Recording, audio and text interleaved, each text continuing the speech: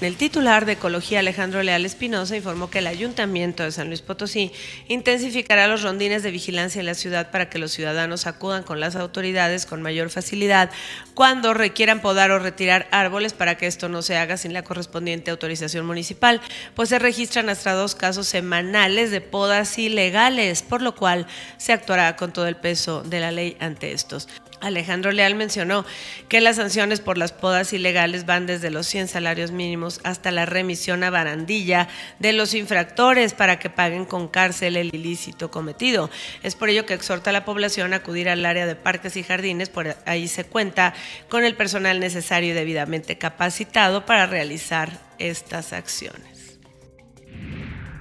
La construcción del nuevo Panteón de Milpillas registra un avance de 95% y prácticamente se encuentra listo para su operación en este mismo mes con mil gavetas disponibles, mientras el cementerio del Saucito está ya a su máxima capacidad desde hace cuatro meses y actualmente solo se utilizan las orillas de los pasillos, aunque el servicio se sigue ofreciendo, informó el titular de Servicios Públicos Municipales Edgardo Torres. Informó que las 66 hectáreas que se tienen en el Panteón del Saucito con más de 340 mil tumbas en tantos años de operación, está totalmente saturada. De ahí la importancia del nuevo sitio de este tipo, al que solo le faltan pequeños detalles en la parte exterior, donde de acuerdo a la autoridad municipal, personal de la dirección de obras con la empresa contratada siguen al pendiente.